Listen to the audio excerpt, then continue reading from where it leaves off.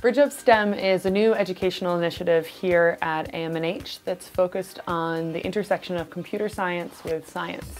The first program we're launching under Bridge Up STEM is focused on 9th and 10th grade girls.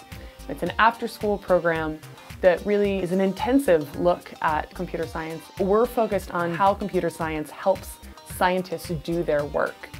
In the astrophysics department here at AMNH, computer science is essentially the foundation of how everybody gets their research done.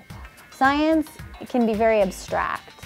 So data visualization, the ability to take the data sets that you're working on and make them approachable can bring you to see things that you didn't know were there in your data sets.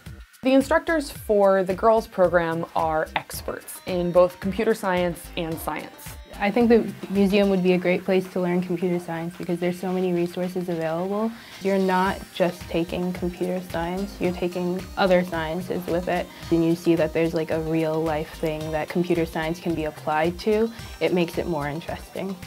Bridge Up STEM could only happen here at the museum. We have 33 million objects in our collections. So we're building this curriculum to take advantage of all of these resources every single class. We're going to give you some really amazing research projects. You are going to do cutting edge science while learning extremely important skills.